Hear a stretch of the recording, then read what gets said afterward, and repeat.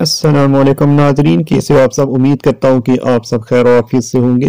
Video शुरू करने से पहले आपसे रिक्वेस्ट है कि आप हमारे चैनल को लाजमी सब्सक्राइब करें। मूंगफली कब खाई जाती है? सर्दियों के मौसम में, खून की नालियों के अमराज में तोानाई फास्फोरस और प्रोटीन हासिल करने के लिए हल्के नींबू के साथ दांतों को मज़बूत करने के लिए वज़न कम करने के लिए खाने से एक घंटा पहले।